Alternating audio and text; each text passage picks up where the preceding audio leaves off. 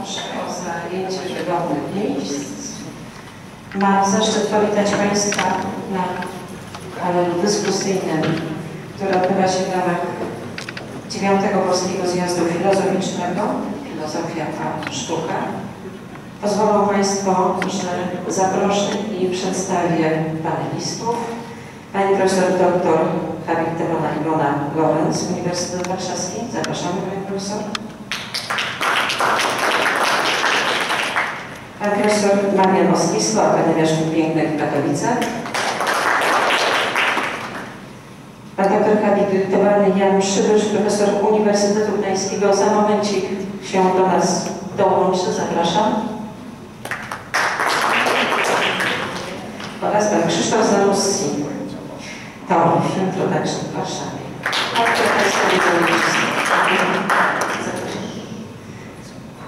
Drodzy Państwo, tytułem wstępu Tradycja zjazdów filozoficznych sięga roku 1923, kiedy to po raz pierwszy we Lwowie spotkali się wybitni przedstawiciele humanistyki, by omówić zagadnienia kultury umysłowej społeczeństwa i miejsce filozofii w dydaktyce ogólnej i zastanowić się nad potrzebą nauczania filozofii.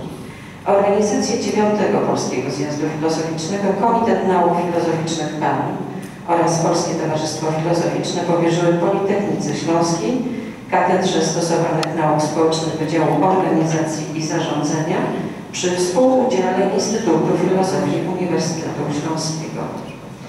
Istotnym celem zjazdu jest skupienie środowisk filozoficznych różnych ośrodków akademickich w kraju i za granicą, by w referatach i dyskusjach podjąć najważniejsze kwestie rozwoju myśli filozoficznej w Polsce i innych krajach Europy oraz statusu nauk filozoficznych wśród innych dyscyplin naukowych. To tytułem wstępu. Dziś będziemy mieli okazję podyskutować, porozmawiać już teraz. Gorąco Państwa do tego zachęcam. Po przedstawieniu referatów naszych uczestników panelu można wziąć udział w dyskusji, także jest możliwość zadania każdego pytania, jak sądzę, poniesienia różnych zagadnień. Do tego już teraz zachęcam. Proszę teraz o zabranie głosu Pani Profesor Iwony Lorenz Uniwersytetu Warszawskiego, referat zatytułowany Jak przebiegają dziś granice między sztuką i filozofią.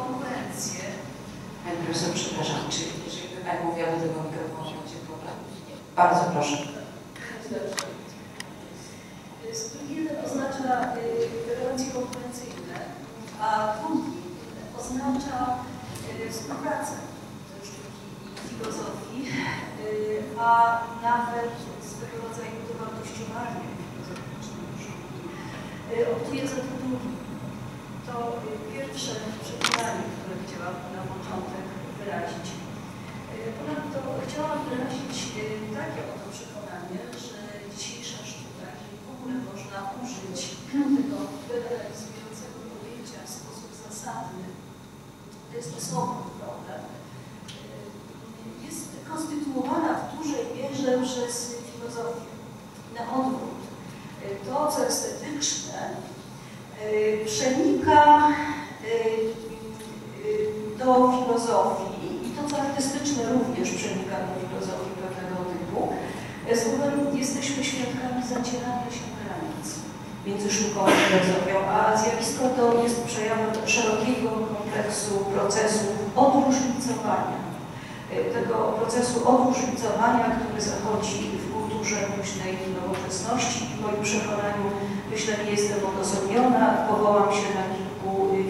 filozoficznych sojuszników.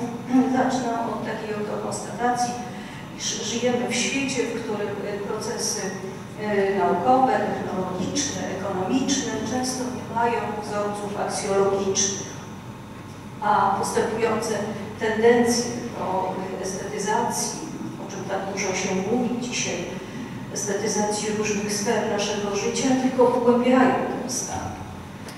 Potrzebny jest nam namysł związkiem pomiędzy tymi procesami, tymi tendencjami współczesności. Potrzebna jest nam filozofia, która idąc drogą wyznaczoną przez nurty ubiegłego stulecia, przez fenomenologię Heideggera, Sartre, Merleau-Pontiego, hermeneutykę, filozofię życia, czy pragmatyzm, wreszcie czy dekonstrukcję, konstytuowałaby się poza podziałami, które. Kantowski aksjomat oddzielenia tego, co estetyczne, co artystyczne od sfer moralności przyrody nie da się dzisiaj utrzymać. Kant pozostawiając świat podzielony na odrębne dziedziny wiedzy, moralności i estetycznego sądzenia, pobudził, uprawomocnił procesy prowadzące do podziału dyscyplin, wzmocnił teoretycznie związane z tym podziałem praktyki ekonomiczne, polityczne, prawne. Coraz to częściej kwestionowana jest aktualność tych podziałów. A doświadczenie estetyczne generalnie rzecz biorąc nie ma dzisiaj charakteru autonomicznego. To, co estetyczne, przenika rozmaite obszary życia, kultury i nie da się zamknąć w wyizolowanej przestrzeni badawczej, która była oddzielona od sfery moralności czy praktyki społecznej. A wartości estetyczne infiltrują naszą współczesność, stale nam towarzyszą, obecne są w różnych przestrzeniach naszego życia. Również kantowska formuła bezinteresowności nie prowadzi do dobrych rezultatów w ocenie sztuki tradycyjnej i współczesnej.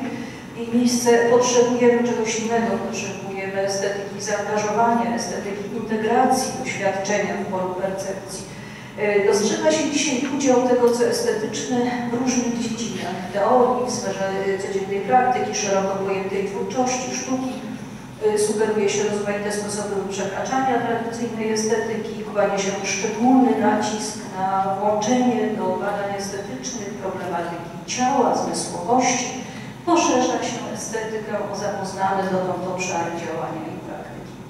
Idą zacieraniu się granic pomiędzy sztuką i niesztuką sprzyjają przeobrażenia, które zachodzą w sztuce w ostatnim stuleciu. To na, na, na, na, chciałabym zwrócić szczególną uwagę, to mianowicie problem, jak przedstawia się relacja pomiędzy sztuką współczesną a y, współczesną filozofią w dobie powszechnego zacierania się granic y, pomiędzy typami doświadczeń. Nawiążę do Artura Danto. Artur Danto w jednym ze swoich wywiadów podkreśla przełomowe znaczenie antyestetyczności Duchampa nie tylko dla rozwoju sztuki, ale również i dla filozoficznej refleksji nad sztuką. To Duchampa, zanim tacy artyści jak Andy Warhol, zauważa, dali impuls wielkiej debacie nad niewystarczalnością tradycyjnych filozoficznych narzędzi, przy pomocy których estetycy, filozofowie sztuki próbowali ująć sens istotę. Warhol podkreśla tam to wpadł na kwestię nieodróżnialności percepcyjnej. Tutaj zacytuję fragment tego wywiadu, to właściwie będzie jedyny cytat, proszę mi wybaczyć, że długi, ale myślę, że warto, warto od niego zacząć. Otóż wniósł Warhol taki problem, mówi tam to. Masz te dwie rzeczy, które wyglądają tak samo.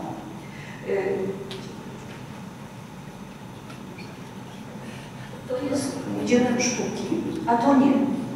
Nie można wskazać na różnicę między nimi, tylko je oglądając. Jak więc je odróżniamy? To było coś. Sztuka w dawnym znaczeniu skończyła się. Proces ten dokonywał się wszędzie. Zdarzyło się to z Cage'em, zdarzyło się z Charlesem Denscrow, z minimalizmem i Robertem Morrisem. Był to powszechny ruch, o ile można mówić o powszechnym ruchu, swoje miejsce na Manhattanie poniżej 14 ulicy. Był to czas niezwykłych eksperymentów. Jaka jest różnica między szumem a muzyką? Jaka jest różnica między cegłą a dziełem sztuki, które jest tą cegłą? Jaka jest różnica między stosem wiecu a dziełem sztuki? Wszystkie te pytania pojawiały się wówczas nieustannie. Tyle cytatów z Dando. E, otóż dokonujące się wciąż na naszych oczach e, zacieranie granic między sztuką i niesztuką jest e, przejawem szerszej tendencji. Przemykania się pól społecznych i kulturowych doświadczeń, burzenia starego kantowskiego przekonania o wzajemnej nieprzystawalności tych pól.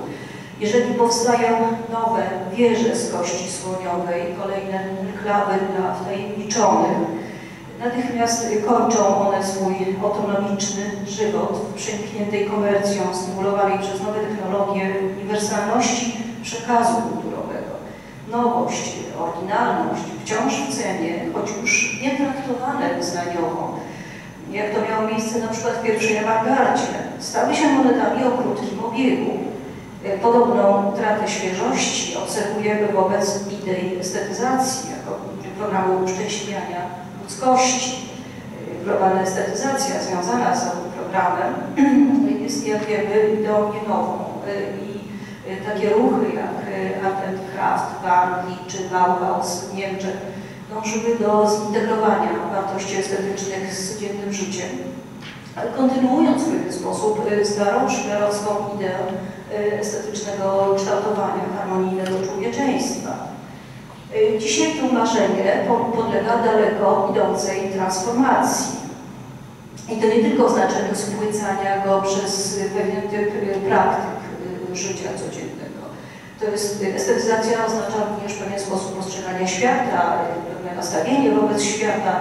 Y, przymiotnik estetyczny określa rodzaj podmiotowego doświadczenia, typ uwagi, oglądu, osądu.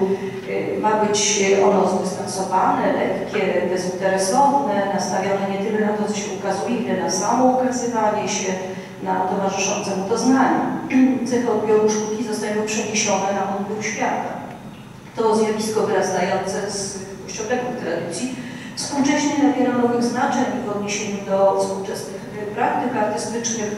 Jest przestrzenią, gdzie wzajemnie się przenikają sztuka i życie. Uczestniczą w nim zarazem myśliciele, artyści. John Cage podkreślał w swoich wypowiedziach z 1981 roku, że dzieło nie jest już w sztuce, lecz jest ono raczej sposobem, w jaki przeżywamy swoje otoczenie. Sztuka współczesna zmierza do zmiany naszego sposobu widzenia rzeczywistości, jest szkołą nowej wrażliwości, y, kształci y, naszą zdolność postrzegania. Często, niektórzy zauważają, zatraca się tej funkcji.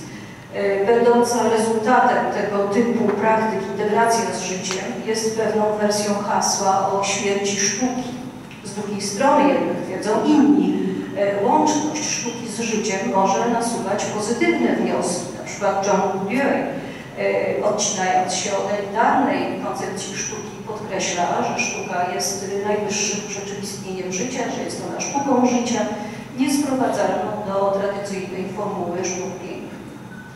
W szeroko rozumianym procesie estetyzacji uczestniczą nowe technologie, nowe sztuki Powiada się, że wraz z wkroczeniem technik multimedialnych, sztuk wirtualnych, estetyzacji towarzyszy pewien proces odrealniania rzeczywistości.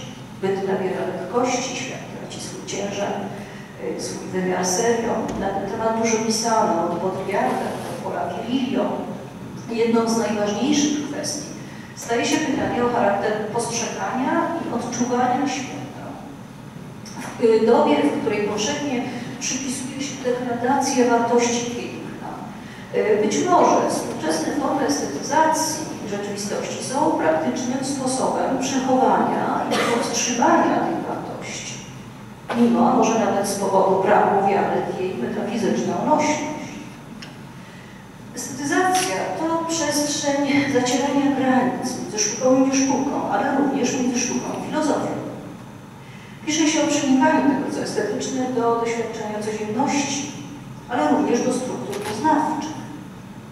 Węż, to jest taki klasyczny przykład, węż dowodzi, iż estetyczność de facto od dawna i nie bez przyczyny charakteryzuje pewne fundamentalne sygnatury, a nie jedynie powierzchowne aspekty współczesnego myślenia. Zasadnicza teza Węża brzmi następująco. Estetyczność przymknęła do fundamentów myślenia. Dlatego pole estetyki powinno przekroczyć y, ramy konwencjonalnej filozofii sztuki. Powinno ono objąć całość y, pola zjawisk estetycznych, y, tego pola, które sięga do percepcji zmysłowej, niektórych zjawisk życia codziennego, po problemy etyczne, polityczne. Estetyka powinna zająć się interpretacją zarówno fenomenów artystycznych, jak i pozaartystycznych, w szczególności sztuki, która wykracza poza granice ludzkie, ku temu, co transludzkie. Nawiasem mówiąc, ta sama tendencja występuje również u Jotarda. Warszawski projekt zaciera i te granice. Nawiasem ten ostatni kierunek zainteresowań współczesnej estetyki znakomicie wpisuje się w przestrzeń badań interdyscyplinarnych ze współczesną biotechnologią, biofizyką czy informatyką na czele. Tylko filozof, który jest wyposażony w interdyscyplinarne narzędzia pozwalające wejrzeć mechanizmy przenikania się doświadczeń, będzie mógł dostrzec antycypującą rolę sztuki w badanych przez siebie procesach, będzie mógł wydobyć jej nową formułę, odpowiadającą kulturowej rzeczywistości zanikających i przesuwających się granic. W sztuce te procesy stanowią przejaw szerszej tendencji. Generalnie procesy te stanowią przejaw szerszej tendencji, w obrębie której późna nowoczesność zwraca się przeciwko wypracowanym przez nią samą podziałom, granicom. W sztuce prowadzi ona do pewnej ambiwalencji. Otóż antyrealizm i rezygnacja z odniesienia znaczeniowego jako istotne tendencje sztuki współczesnej przyczyniły się z jednej strony do umocnienia granic sztuki i niesztuki, tak było na przykład z malarstwem abstrakcyjnym.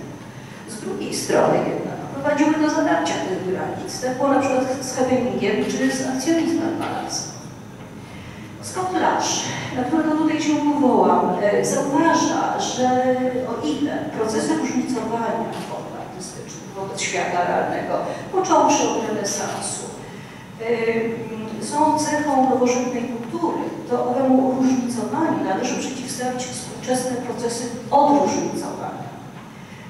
Istotne momenty owego odróżnicowania, o którym mówi Lasz, to wyzucie dzieła sztuki z aury, negacja podziału na autora, dzieła, publiczność, zacieranie granicy pomiędzy sztuką a teorią, sztuką wysoką a popularną, tym co kulturowe i tym co społeczne. Według Lasza, który w tym względzie był inspirowany przez słynną pracę François Lyotharda, dyskurs figura, Pojęciem, które pracuje na rzecz przestrzeni odróżnicowania jest figuralność. O ile różnicujący dyskurs nowoczesny preferuje relacje znaczeniowe, o tyle figuralność jest pojęciem, które sygnuje estetykę pragnienia i wrażenia. W tej przestrzeni hermeneutyka sztuki jest uzupełniana, nawet miejscami wybierana przez erotykę sztuki. Współczesne sztuki rzeźba, taniec, architektura, malarstwo, pokazujące pragnienie na powierzchni przedstawienia i rozdzielające życia i tekstu, są zupełnieniem po niczeańsku rozumianego życia, są artykulacjami zasady przyjemności. Myślę o tym, że odróżnicowanie jest wiodącą tendencją współczesnej sztuki, znajdujemy nie tylko u Lasza, ale u Susan Zonda na przykład, czy Leotarda, i ta estetyka odróżnicowania sytuuje się w polemicznym napięciu zarówno wobec hermeneutyki wraz z jej prymatem znaczenia, y, przeciwstawianiem tekstu i rzeczywistości. Oczywiście tutaj myślę o pewnym typie hermeneutyki tylko, biegunowym, jak i wobec y, teorii krytycznej, y, której przeciwstawia ona postawę afirmacji. Analiza estetyczna jest tutaj uzupełnieniem sztuki, a sztuka uzupełnieniem życia. Na przykład wypowiadając się w tym duchu o fotografii, Rosalind Krauss podkreśla jej surrealistyczny charakter. Tak jak w surrealizmie, gdzie elementem znaczącym staje się sama rzeczywistość, fotografia stwarza odciski rzeczywistego. Teatr Artoda, przywoływany przez Lasza w kontekście procesów odróżnicowania, nie tyle odnosi się do życia, ile jest życiem, jest jego uzupełnieniem. Wbrew awangardyzmowi, sztuka nie jest autonomiczną, oddzieloną od życia. Jedną z najważniejszych przestrzeni różnicowania we współczesnej sztuce jest kino. Nasz y, podkreśla podobieństwo doświadczenia kinowego do marzenia sennego. Proces pierwotny i seksualność wybuchają na samej powierzchni reprezentacji. Recepcja kinowa jest raczej rozproszeniem niż skupieniem uwagi. Na podobne znaczenie kina dla procesów kształtowania nowych, zacierających stare granice doświadczeń, zwraca uwagę wielu estetyków i filozofów kultury. Arthur Danton przypisuje kinu rolę zwrotnego momentu w dziejach sztuki.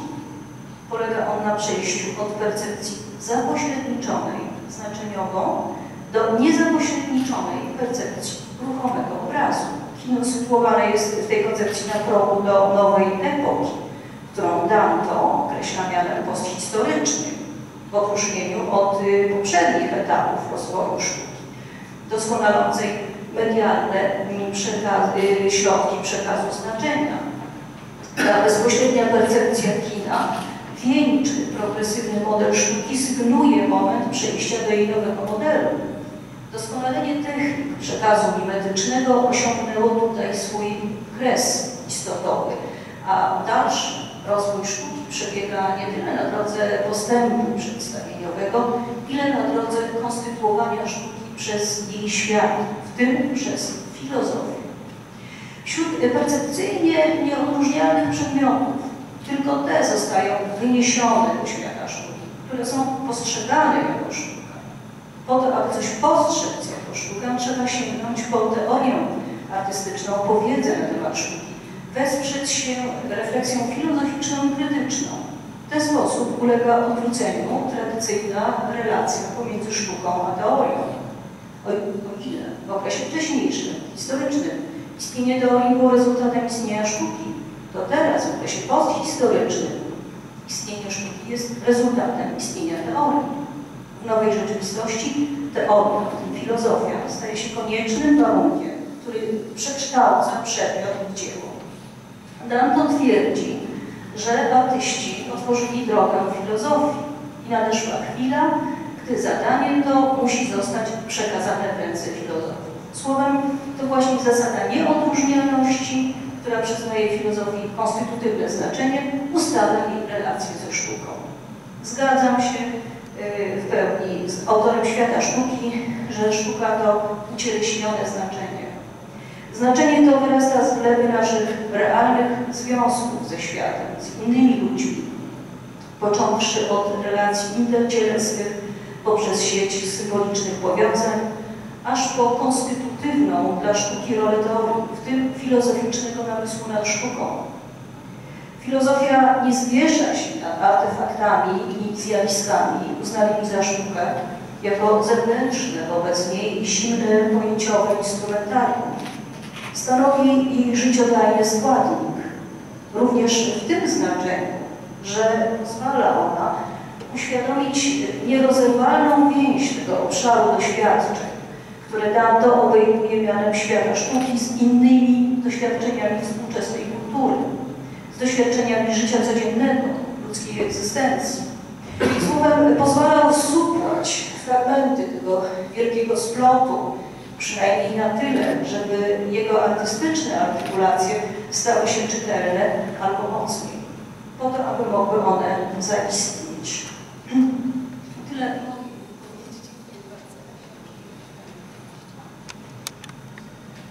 Bardzo dziękujemy Pani Profesor. Wrócimy do tych wątków. Prosimy, prosimy jak.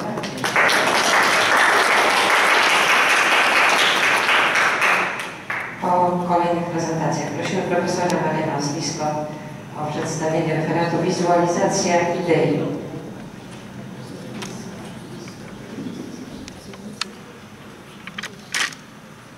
Dziękuję bardzo.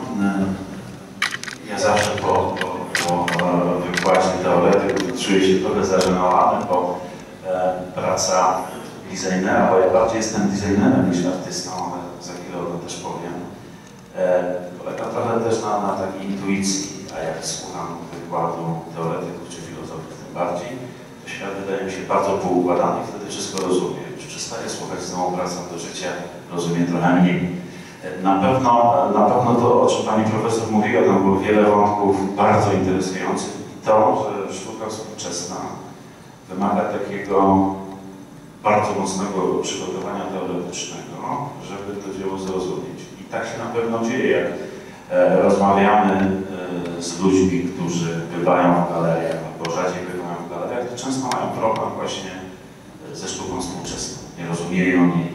I właśnie bez tego przygotowania, czy chęci wejścia dzieło sztuki dzisiaj, czasami nie jesteśmy w stanie odebrać e, tego dzieła w pełni.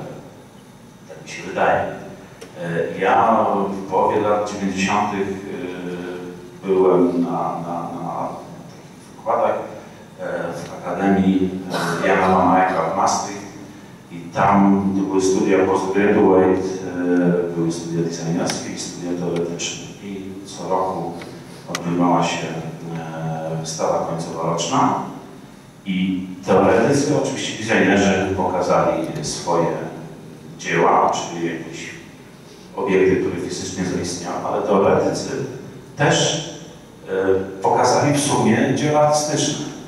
I to było nieprawdopodobne. To był rzeczywiście wydział teorii i te rzeczy niczym się nie różniły od rzeczy, które spotykam w galerii. Wydaje mi się, że naprawdę jest krok dla filozofów od tego, żeby pewne rzeczy urzeczywistnić. Tutaj y, trochę było mówione o warsztacie, a może powiem trochę więcej i o estetyce. Y, oczywiście estetyka jest bardzo istotna, ale przede wszystkim, tak jak wynika z mojej praktyki akademickiej i niekończących się rozmów z przyjaciółmi, y, którzy starają się uczyć sztuki i designu, jest dobre pytanie, jak uczyć sztuki, jak uczyć designu. No może designu, designu trochę łatwiej, ale estetyka w tych rozmowach gdzieś jest na, na planie dalszym. Raczej mówimy o pewnej idei, o pewnej funkcji. Jeżeli o design chodzi, to oczywiście jest to w pełni uzasadnione, ale wydaje mi się, że ze sztuką jest podobnie. Przede wszystkim jest to chęć y, jakby mm, opowiedzenia, może to jest niedobre słowo, e, ale jakby przedstawienia pewnej własnej wizji e, pewnego problemu. I wtedy chyba e, to bardziej widzę obchodzi niż uprawianie sztuki, która jest czystą dekoracją. Oczywiście są złe przykłady sztuki, nie wiem czy to można nazwać sztuką, która służy do dekorowania wnętrza. Często jest tak, że na przykład takie hotele, nie wiem jak jest w Gołębierskim, bo e, nie spałem tutaj, ale często e, takie miejsca zamawiają e, po prostu na metry e, tak zwane dzieła sztuki, prawda? I w pokojach mamy, wisi coś, co ani nie przeszkadza, ani nas jakby zbytnio nie inspiruje, coś takiego jest. Oczywiście taka sztuka czy nie sztuka istnieje, ludzie kupują, wybierają pieniądze i ten spór i taka sytuacja będzie istniała zawsze. E, mm, jeżeli chodzi o e, nowe media, o których też Pani Profesor wspomina, to jest rzecz, która absolutnie w tej chwili determinuje i nauczanie w Akademiach Sztuk Pięknych, ale też myślę taką sytuację na rynku sztuki i w ogóle kondycję artystyczną. Otóż nowe media doprowadziły do totalnej integracji i zatarcia różnic pomiędzy różnymi, pomiędzy różnorodnymi dziedzinami sztuki czy jakiejś aktywności artystycznej. W ogóle może będę używał takiego sformułowania nie sztuka, a współczesna kultura wizualna, bo to wydaje mi się bardziej szerokim pojęciem, bardziej, bardziej pojemnym i na to składa się wiele rzeczy, tak jak powiedziałem, design i sztuka. W akademiach, większości akademii, we wszystkich akademiach pięknych i większości szkół wyższych plastycznych ta tradycja designu i sztuki jest od początku ich istnienia i one w tej chwili jakby nawzajem się przenikają. I to właśnie za, z powodu właśnie nowych mediów, czy tak zwanej cyberprzestrzeni, która umożliwiła integrację pewnych dzieł. Ja niedawno miałem przyjemność mówić na temat muzyki w Akademii Muzycznej w Katowicach, ale ten mój wykład był połączony. W tym wykładzie mówiłem o muzyce i o sztukach wizualnych. Otóż, otóż co się stało współcześnie? Artyści dostając maszyny, które mogą szybko obliczyć bardzo skomplikowane matematyczne procesy, a zatem mogą zajmować się obrazem ruchomym, zaczęli to robić. Ta demokratyzacja medium jest powszechna i często miałem takie doświadczenia jeszcze parę lat temu właśnie z filmowcami, tutaj siedzi pan Krzysztof Zanussi, że filmowcy artystom, designerom z Akademii Pięknych, którzy zajmowali się obrazem ruchomym, mówili, wy tego nie możecie robić, wy się na tym nie znacie, do tego źle podchodzicie. Rzeczywiście, jeżeli patrzymy na, na, na szkołę filmową, to ta szkoła jest w bardzo dużym stopniu szkołą zawodową. Chcę powiedzieć w tym sensie, że absolutnie przygotowuje w 100% do zawodu i operatorów, i reżyserów. O tym zresztą mówił Wim Wenders. Wim Wenders kiedyś powiedział w wywiadzie, że on woli uczyć w Akademii Sztuk Pięknych niż w szkole filmowej. Czemu? Bo Akademia, on z tego co wiem, chyba uczył w Akademii Sztuk Pięknych w Hamburgu, Akademia daje więcej możliwości i nie stawia takich wymogów, czyli jest miejsce na eksperyment. Szkoła filmowa jest miejscem, gdzie w profesjonalny sposób uczy się robienia filmów. Oczywiście tak nie jest do końca, ale rola eksperymentu, czy takich badań nad na, na, na współczesnym stanem kultury wizualnej w Akademiach Sztuk Pięknych jest totalnie otwarta i jakby jest wszechobecna. My często e, pracując nad takim obrazem, w ogóle nie zastanawiamy się, go nie definiujemy. Jest to jakby e, w dużej mierze instynktowne i takie e, intuicyjne, badane obszary. Zapisujemy pewien obraz ruchomy, łączymy go, wyświetlamy go w różnej przestrzeni nawet trudno to nazwać. Potem te doświadczenia są, są przenoszone do salonu sztuki, do galerii, ale też bardzo często takie doświadczenia są w jakiś bardzo pragmatyczny sposób wykorzystywane w reklamie czy w takiej komunikacji wizualnej, która też jest istotną elementem, elementem naszego współczesnego życia. Chcę teraz wrócić do, do nowych mediów, kultury wizualnej, szeroko pojętej i muzyki.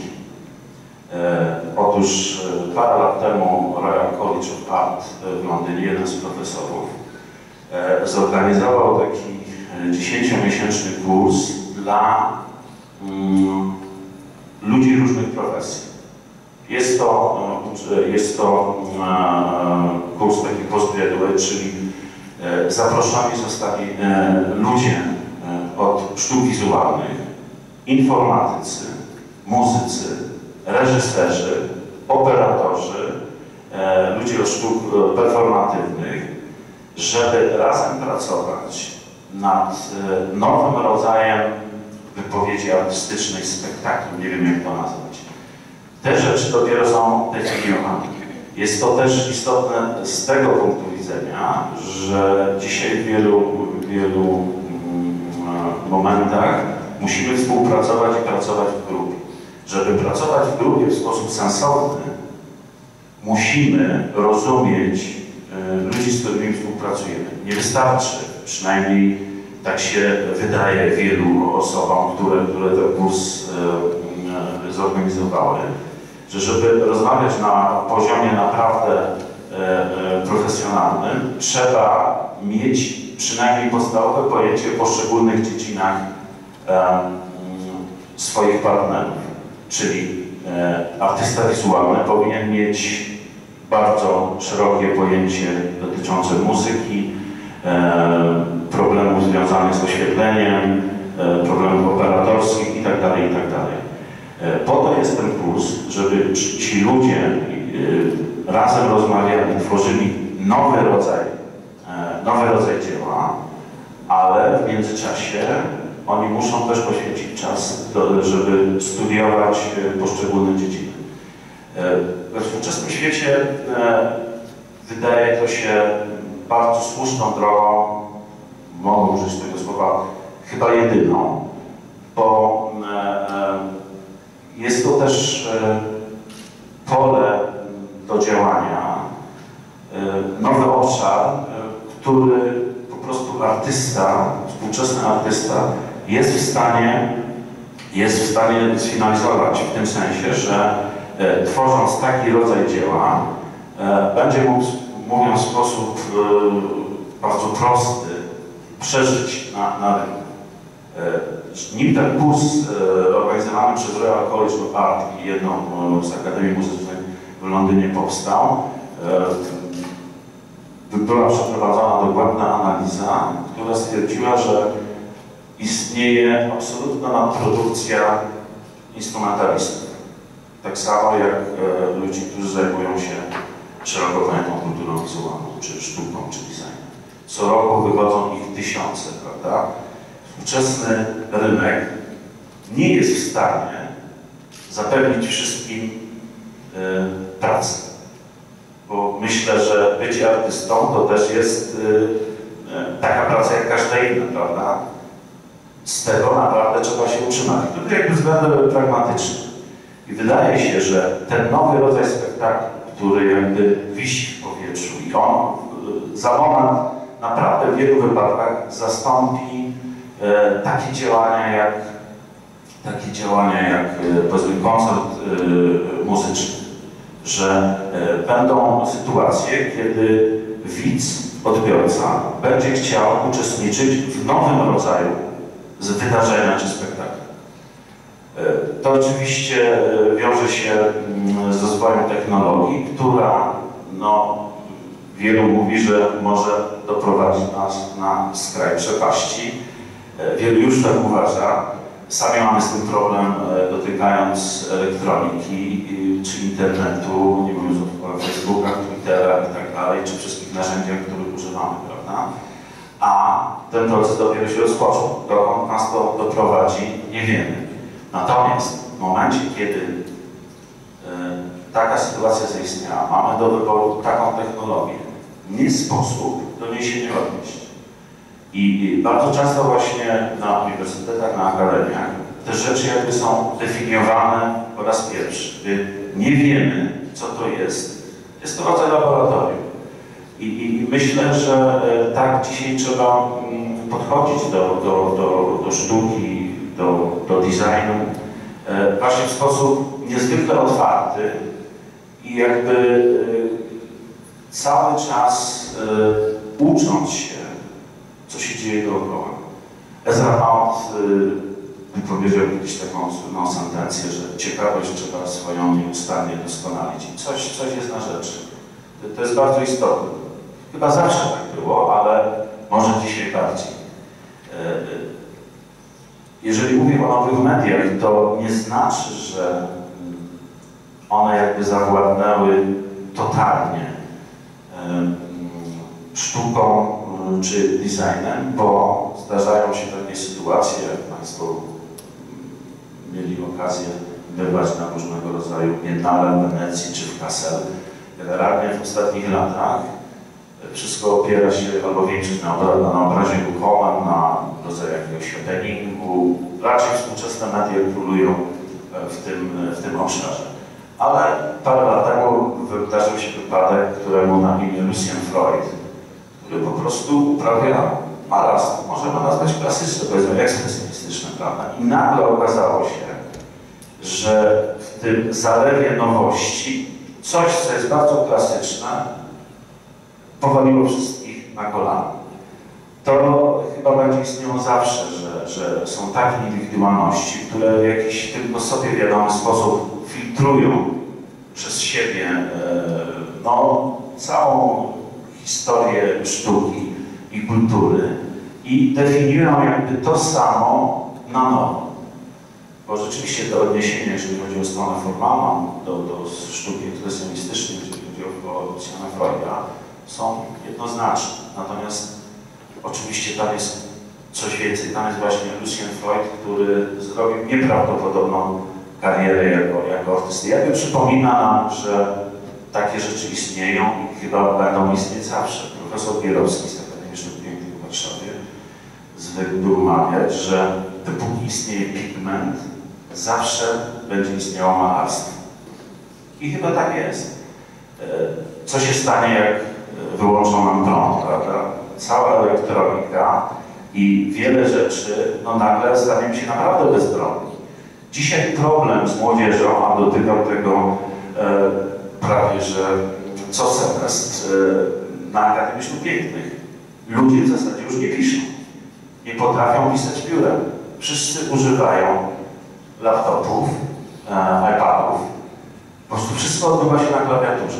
To jest nieprawdopodobny problem. Ja parę lat temu spotykałem się z takim przyjacielem z Ameryki, który przyjechał do Polski ze swoją miłością Sandomierza i tu w latach, wczesnych latach 90. zamieszkał i rzeczywiście y, to, co przeżył przez parę lat, myślę, że nauczyło go życia w naszym pięknym kraju, ale on wtedy miał laptopa i on już uświadomił po raz pierwszy. On w ogóle nie potrafił się już podpisać, on w ogóle nie używał biura. Wszystko działo się na komputerze. W akademii jest to poważny problem. No wyobraźcie sobie Państwo, że e, naprawdę ludzie już e, coraz e, mniej piszą. Już nie mówię o kaligrafii, o jakimś nadaniu charakterowi pisma formy. I zastanawiam się przy tym całym, przy tym całym jakby pokłonieniu się nowym medium jakby nieodwracalności pewnych sytuacji. No musimy wrócić do abecady czyli e, rozwinąć pracownik kaligrafii, która będzie uczyła studentów akademicznych pięknych panowania nad formą. E, oczywiście, tak jak z Lucianem Freudem, to są właśnie takie e, koła, prawda? Coś się wyczerpało i za chwilę, ponieważ życie nie lubi pustki, musi zostać zastąpione. Podobna sytuacja chyba jest w tej chwili ze sztuką krytyczną też krytycy i teoretycy mówią, że ta sztuka ulega już pewnemu e, wyczerpaniu. Być może tak jest, ja się nad tym osobiście nie zastanawiam. Staram się rozwiązywać problemy e, wokół, e, wokół siebie, związane z moją twórczością, z projektowaniem, ze sztuką, ale też związane z dydaktyką. To, co, się, to, co jest związane z młodymi ludźmi, którzy co roku przychodzą do Akademii i oni też jakby e, wymuszają pewne nasze działania, bo sami Państwo wiecie, że bardzo trudno w pewnym wieku być jakby w awangardzie, prawda? Ta technologia tak szybko się zmienia, że naprawdę nie jesteśmy w stanie zapanować nad nią. Z kolei e, takie, takie instytucje jak, jak Akademia mają pewien bezwzględ. I jeżeli technologia się zmienia i potrzebni są wybitnej klasy fachowcy, żeby nauczali młodzież, no to zazwyczaj instytucji na to nie stać. No i koło się. Jest to, jest to dosyć trudne, ale nie chcę tutaj mówić o problemach. Chcę tylko zasygnalizować, że właśnie ten bardzo dynamiczny rozwój ostatnimi czasy cyberprzestrzeni jakby totalnie zmienił, zmienił środowisko, w którym przyszło działać artystom. I też widzę to na malarstwie, że dzisiaj zwykła pracownia nie wystarczy. Oczywiście ludzie malują, my staramy się w naszym kraju przynajmniej jeszcze wpajać tym ludziom jakieś pojęcie warsztatu związane z warsztatem malarskim, z technologią, ale coraz częściej dyplomy czy, czy prace semestralne są związane z nowymi mediami. I naprawdę nie ma różnicy często pomiędzy wydziałem projektowym a wydziałem artystycznym. Są takie prace, które mogłyby być i w jednym, i w drugim miejscu. I na, na koniec jeszcze chciałem wrócić do, do, do, tej, do, tej, do tego zdania, które powiedziałem na początku, rzeczywiście filozofom bardzo blisko do e, uprawiania sztuki. Myślę, że to jest tylko kwestia decyzji. Dziękuję bardzo.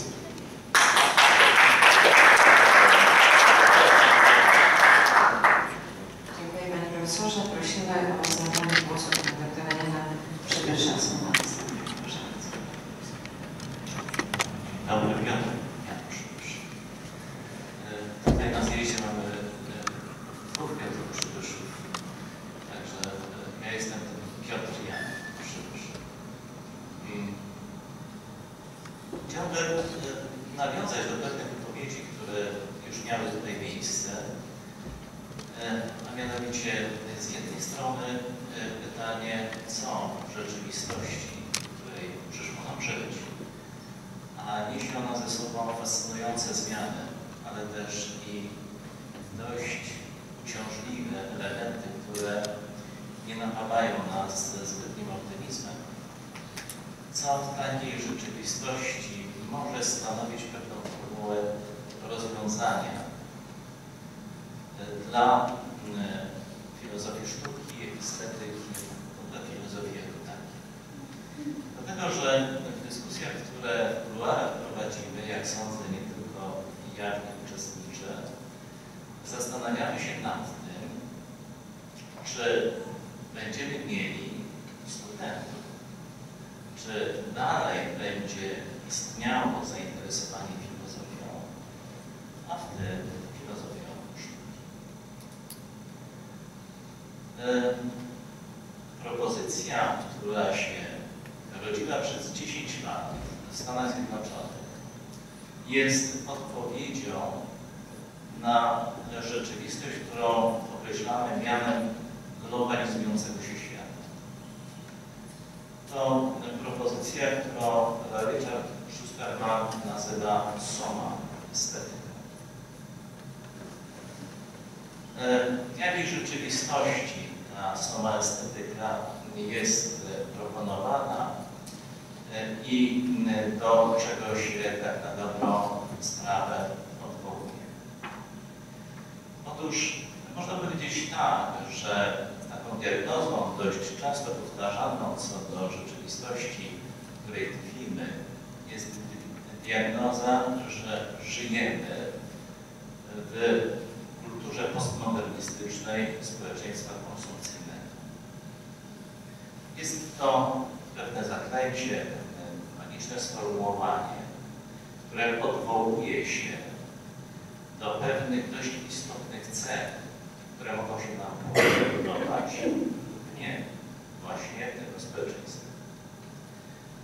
Sama estetyka jest ufundowana w amerykańskiej filozofii pragmatycznej Lisa Jamesa Hilleya i odwołuje się rdzeniem jej jest kategoria doświadczenia, o której mówiła Pani Profesor, zaś doświadczenie, które zostało w sposób dość ciekawy, interesujący, jako doświadczenie życiowe, przedstawione i powiedziałbym praktycznie zweryfikowane przez Jamesa Dewey'a, a które w Polsce dzisiaj jest dość atrakcyjną formułą,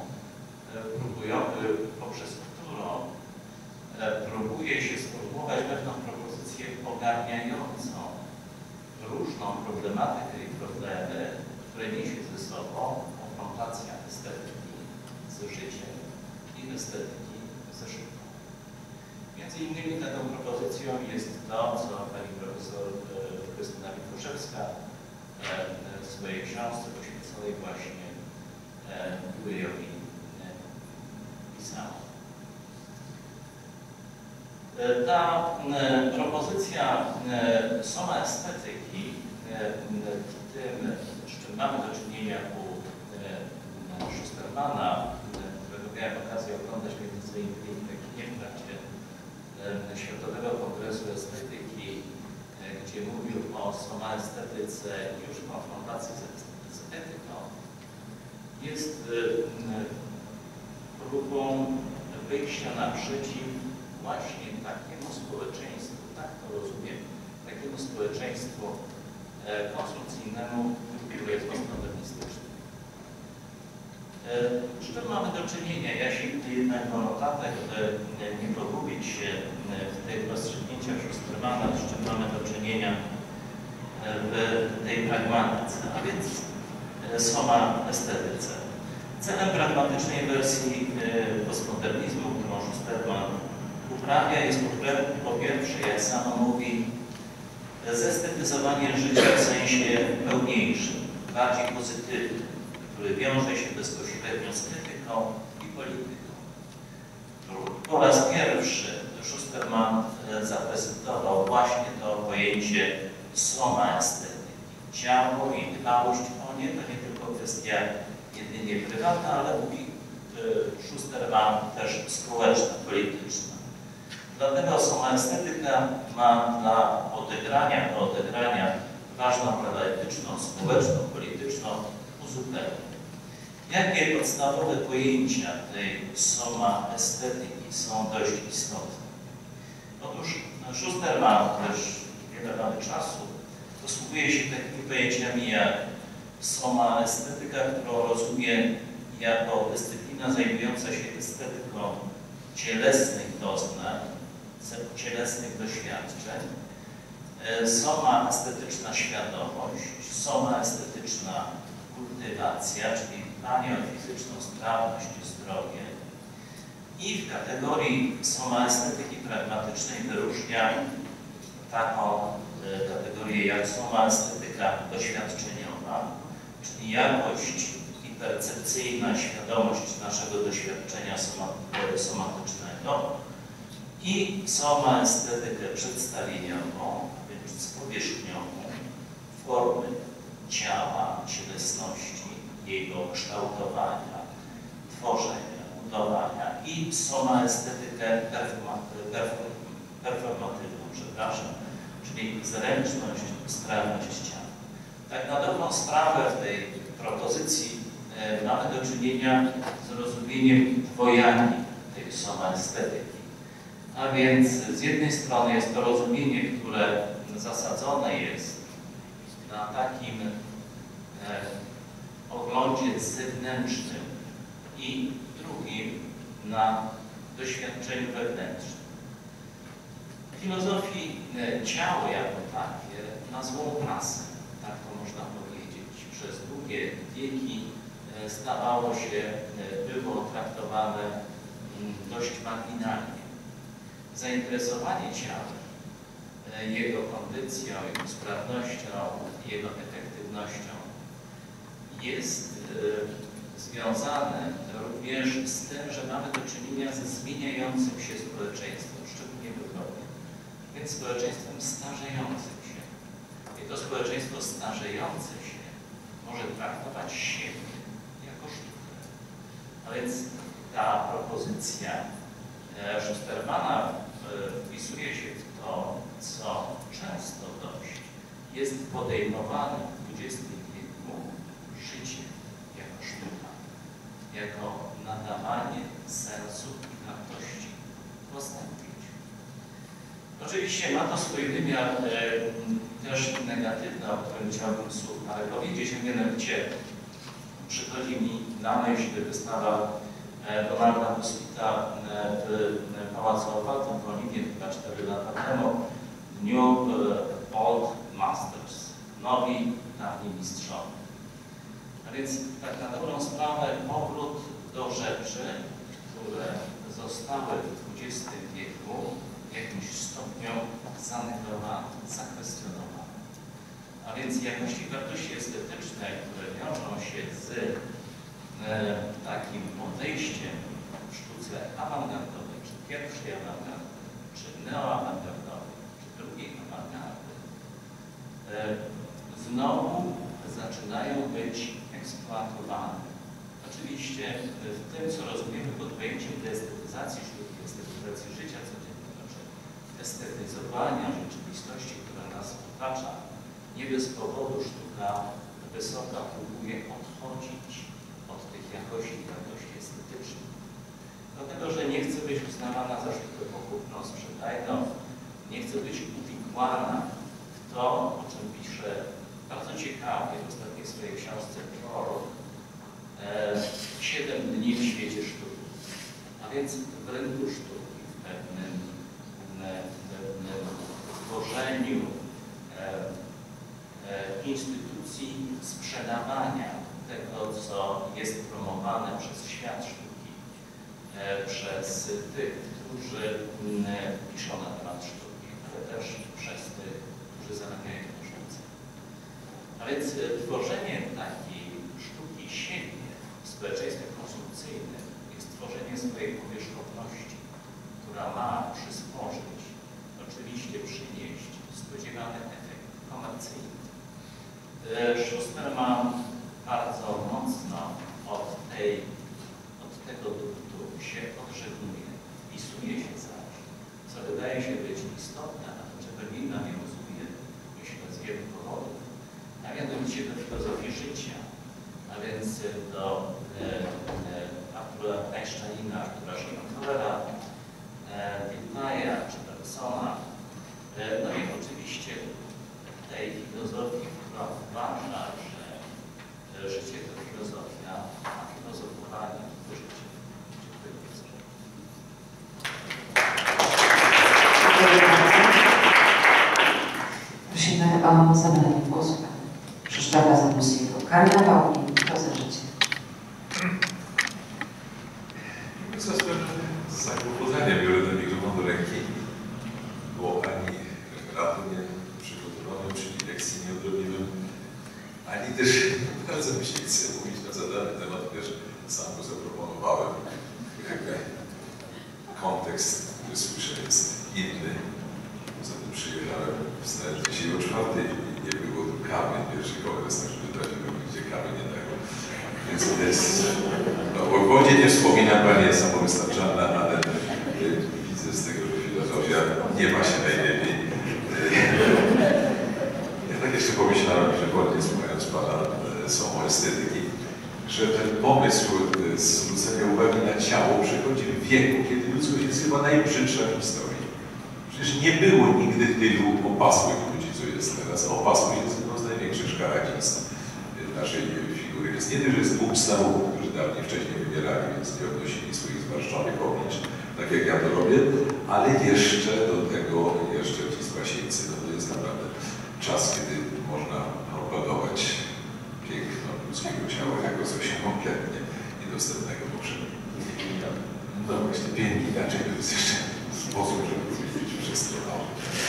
Proszę Państwa, ja chciałbym spojrzeć na moją dyscyplinę, może dyscyplinę kina, właśnie trochę na przekór y, tego, czym Państwo się zajmują, to znaczy nie od strony tego, że to jest dyscyplina audiowizualna, która podlega oczywiście ocenom estetycznym i tutaj jakby w tym polu może mam mniej do powiedzenia. Ja gdybym przypomniał o tym, że to jest również jedna ze sztuk narracyjnych. A w sztukach narracyjnych, y, poza tym, że oczekujemy od nich piękna, oczekujemy czegoś innego, co jest może inną twarzą piękna, jeśli da się mówić bardzo po platońsku.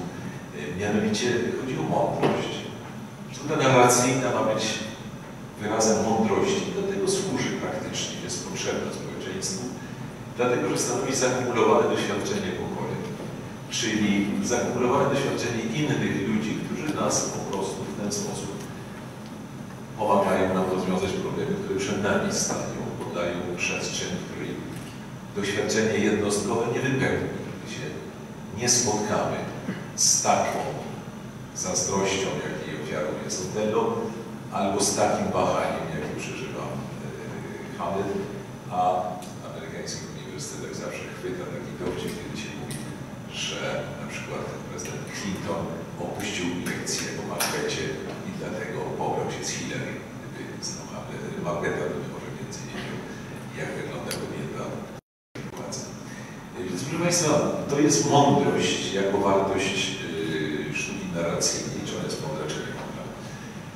I teraz dzisiaj rzeczywiście brak takiej filozofii życia powoduje szczególnie w Europie, że sztuki narracyjne są wyjątkowo niespójne.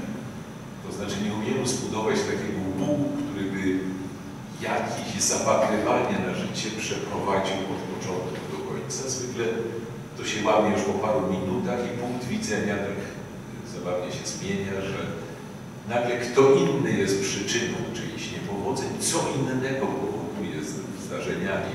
W pierwszych minutach utworu, a w drugich, co innego w trzecich.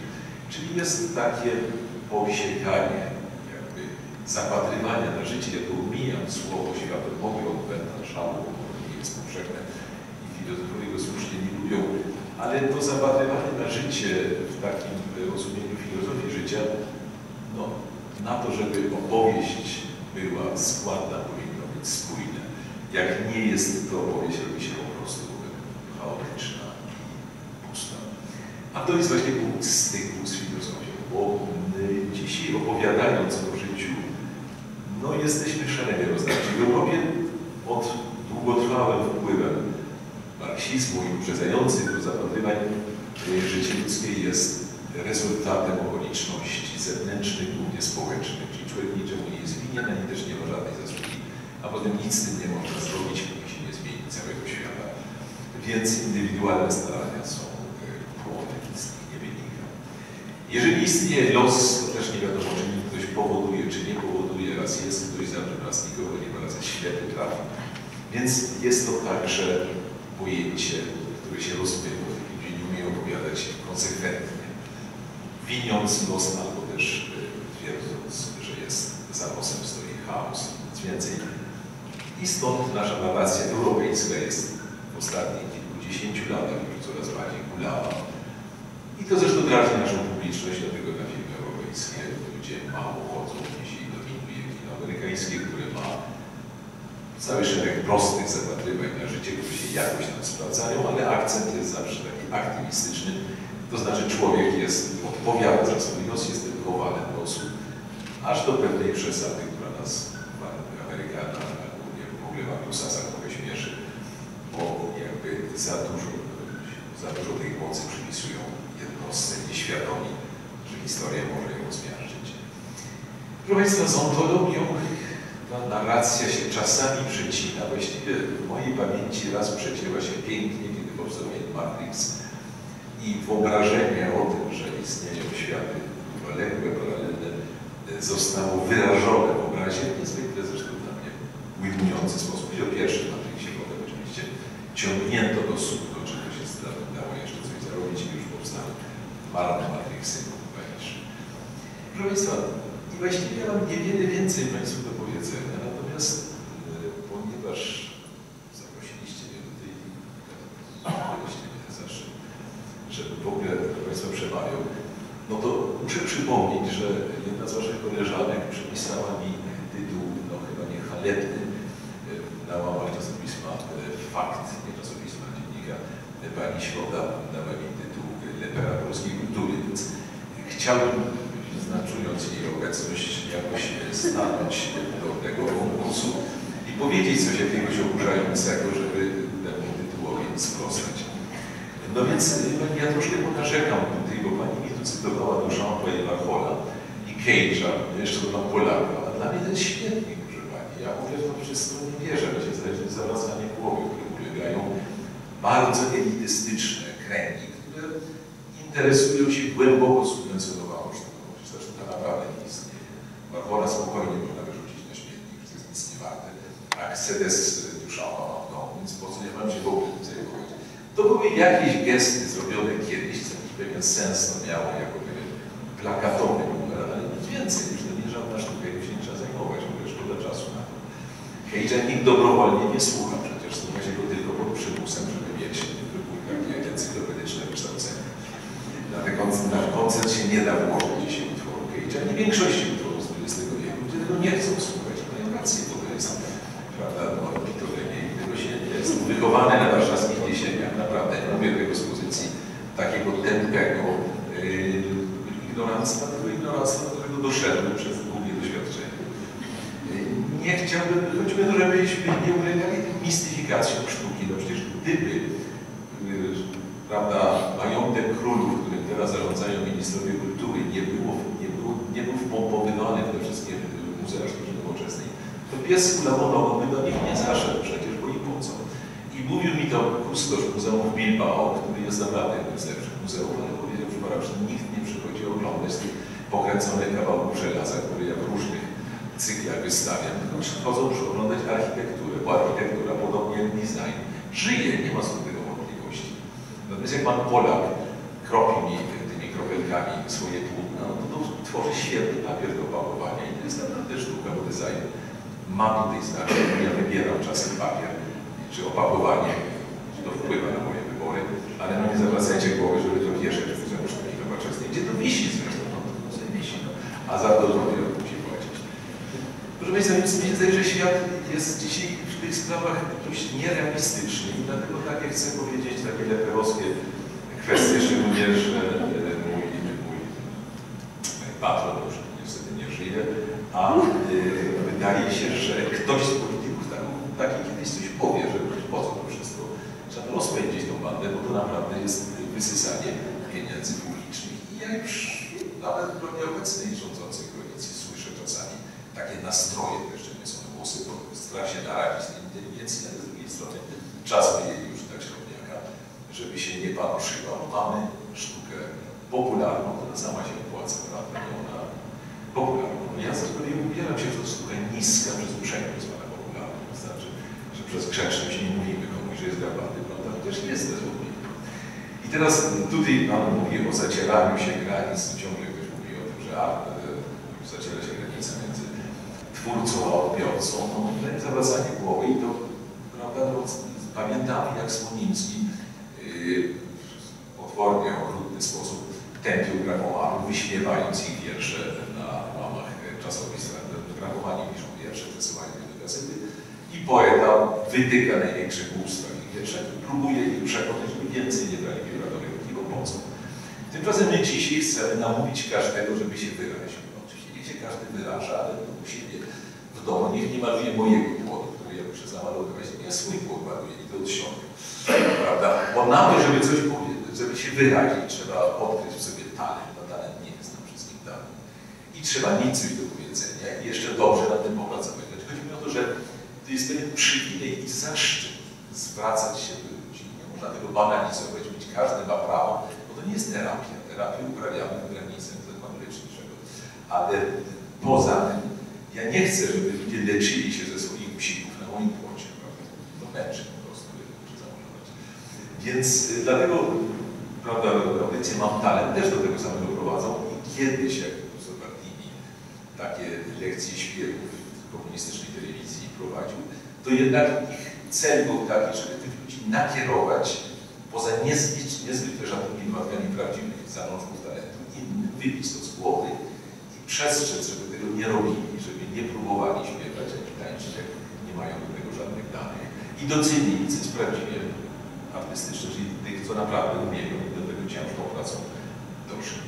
Ja prowadzę taki, prowadzę no, programuję taki festiwal w Świnoujściu, którego motyw w ogóle jest zderzenie sztuki wysokiej ze sztuką niską, przez uprzejmość zwaną popularną. Jeden tylko człowiek się obraził i wyjechał, jak zobaczył pełen tytuł naszego festiwalu ale tam próbujemy zderzać ze sobą te oba światy i interesować się, jakie są między innymi relacje. Bo wiadomo, że właśnie sztuka wysoka ma naturalną skłonność do sklerozy i widać w każdym muzeum sztuki nowoczesnej i w każdym filharmonii.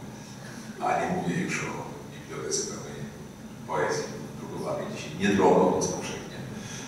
Natomiast y, z drugiej strony no, sztuka popularna jest tandetą, jest, jest płaska i nie mamy co czemu klękać na kolana, bo ulegamy dominacji, po prostu, że ulegamy przekonaniu, że jak, jak przynosi pieniądze, to jest dobre, nie jak przynosi pieniądze, to jest marne. Bo wszystko, co się dobrze sprzedaje, musi być raczej niedobre, bo większość we wszystkim się mieli. No, mój, mój ojciec, jak zobaczy, że coś jest bestsellerem, to do kosza od razu, że nie będziesz czytał bestselleru, bo to jest co najwyżej dobre dla kucharki, ale przecież nie przed wojną, że bestsellerem była pani yy, no, Usmanerowa, jako literaturze światowej, a dostępnej, a u nas pani Niszkówna. No i naprawdę było czymś kompromitującym podobnego. Nie należy tego robić po prostu. I w ogóle ja jestem przekonany, że za łatwo oddaliśmy pole i uwierzyliśmy paru panów, którzy też narobili moim zdaniem zamętów w głowie. Myślę o panu Deridzie, o panu Foucault, o panu Jotardzie, o panu Deleuze. Jako leper mogę powiedzieć, że z panem Deridą miałem szczególny kontakt, myśmy wykładali w sąsiednich salach na tym samym Uniwersytecie Letnim w Sasfe. No i teraz on jest piramidalnie wielkim filozofem, ja jestem jakimś wielkim z filmu, więc to jest za śmieszne, ale ci sami studenci amerykańscy przychodzili potem na moje wykłady i ja im mówiłem, słuchajcie, ja wam przysięgam, że ten was mówi same głupstwo i kłamie. I nie wierzcie, bo mnie, że mam lepszy akcent po angielsku od niego miał, więc oni mi często wierzyli. Susan Sontag toczyłem. Toczyłem długie boje przez długie lata i Susan była na tyle człowiekiem uczciwym, że po latach kiedyś spotkaliśmy się w ona jakiś ciężki moment, już miała bardzo ciężką sytuację życiową i miała naprawdę łzy w oczach, mówiąc ile ona zła i ile ona świństwa musiała w świecie, upierając się przy swoich demonach, które dzisiaj wie, że są nieprawdziwe. To była jej walka z Miłoszem, którego tępiła jako zdegenerowanego emigranta, ponieważ on tak źle mówił o świecie postępu i świetlanej przyszłości, czemu ona się ze swojego marksizmu wycofała. I właściwie biła się w piersi, że wstyd jej za wiele swoich publikacji.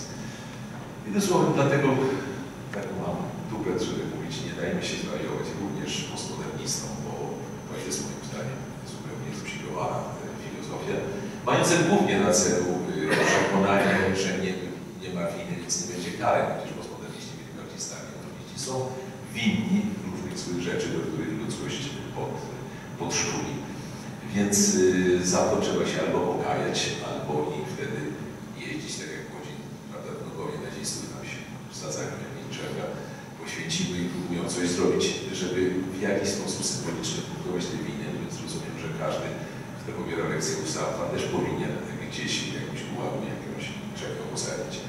Albo też zostać postmodernistą, powiedzieć, nie było błędu, więc nie ma winy, więc nie ma też jej odpowiedzialności. Taką mam intuicję w tej materii, dlatego ponieważ mam prawa, które już mi Pani Siola przyznała, więc jakby nie Państwo wierzyć bardzo serio.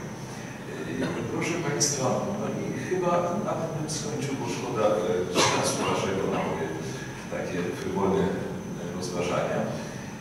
Państwo mówią o sztuce, a przecież my w ogóle właściwie na sztukę nie mamy w życiu powszechnym miejsca, bo zastąpił celebrytyzm, po prostu pojawiają się postacie, której, za którymi nie stoi żadne dzieło i nie ma dzieło. Jest, są panie, które gdzieś zagrały, nikt nie wie w czym one grają, tam się pojawiają, są w Liwie i są w, w jakichś, na jakichś innych układkach, to jest treść ich, dzieła. One są same swoim dziełem, a jako dzieło nie są nigdy ani specjalnie piękne, po prostu photoshopowe, ani nie są specjalnie mówiące. To jest, proszę Państwa, to jest taki mój sceptycyzm, który płynie z odeszłego wieku przede wszystkim. No nie, ja o karę wielu artystów, dlatego że my nie możemy być bezkarni, jeżeli podszczuwamy do się z tego tłumaczyć. Jest uniwersalne. Natomiast śmieszy mnie to, że na przykład spotkałem takiego, jak słyszę, światowej sławy, ogromnego architekta, zresztą jego sławie świadczy to, że lata własnym samolotem. Pan Fuchs zbuduje jakieś wspaniałe wieżowce, no mi robi scenografię do sztuki, którą wystawiłem w Syrakuze, więc pytam, przerażony w ogóle jego potęgą, wielkością, szumem tego jego jetta, który przyleciał na, na, na, czemu Pan sobie zajmuje czas na takimi głupstwami, jak Pan buduje cztery wieżowce w czterech wielkich stolicach świata, a Pan tutaj stawia do dekoracji do Wedynii. On mówi, że Pan o no tej dekoracji więcej napiszą niż o moich cztery wieżowce. Czyli znowu świat rzeczywisty, dzieło nie ma się nijakiego tego, jakie echo budzi, to echo jest ważne, a nie dzieło. No to jest oczywiście pomylenie z z tego nic dobrego nie wyniknie. Natomiast ja wierzę dalej, czy w 2D, czy w 3D, czy w hologramie, czy w takiej, czy innej postaci. Jakaś sztuka ruchomych obrazów narracyjna, która opowiada o życiu, będzie dalej ludziom potrzebna. I dobrze tylko, żeby nie wszyscy ją uprawiali, bo wtedy w tym chaosie będzie się strasznie trudno zorientować. Dzisiaj za pomocą telefonu komórkowego można nakręcić film bardzo podobny do tych, co kręcą w Hollywood. Więc lepiej, żeby była selekcja i jednak nie wszyscy szukali swojego wyrazu podzielili się porządnie rolami. W jednej roli byli twórcami, a drugiej byli odbiorcami. Przypadkiem nie byli tych ról ze sobą, bo moim zdaniem nic z tego dobrego nie wynika. Ja sam sobie zaczynam opowiadać historię, no,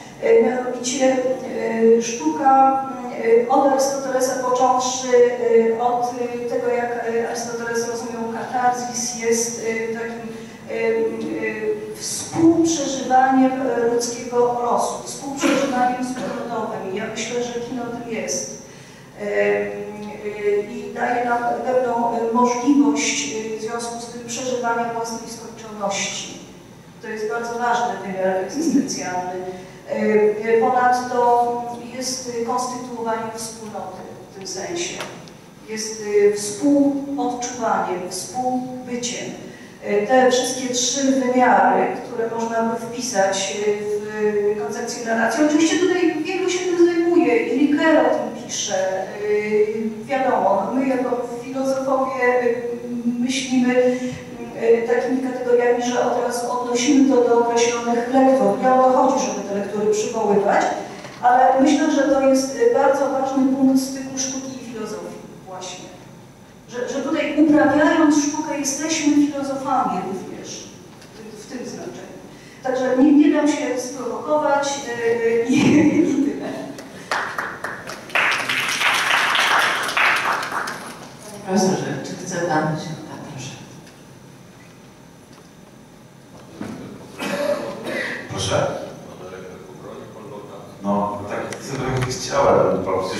wywołało specjalnie na pewno burzę, ale myślę, że e, e, no, każdy może mieć swoje poglądy oczywiście.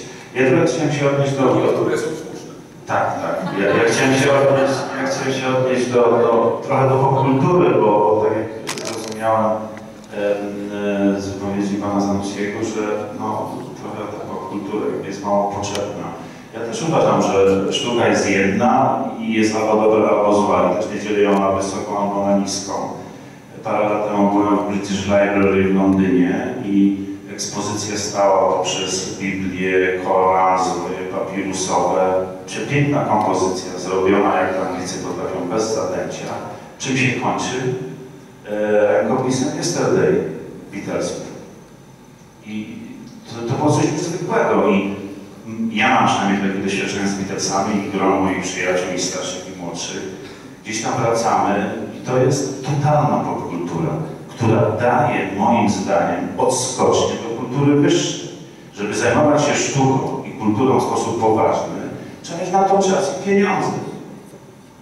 Bardzo często we współczesnym życiu, no, jakoś jak patrzymy na, na, na ludzi, których mijamy na chodniku albo których znamy w, miejscu, gdzie mieszkamy, no, oni konsumują kulturę w sposób bardzo różnorodny, a zazwyczaj w ogóle nie konsumują, tylko rzeczywiście zajmują się tabloidami, patrzą na seriale i tak dalej, i tak. I to jest powiedzmy powszechne.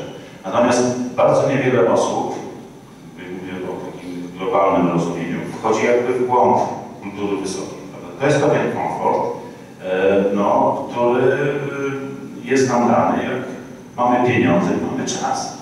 E, Życie, myślę, nas generalnie nie rozpieszcza, e, a e, jakby kończąc moją wypowiedź, wydaje mi się, że, że dobra popkultura jest idealną odskocznią do tego, żeby pójść dalej i żeby naprawdę e, więcej rozumieć i czuć.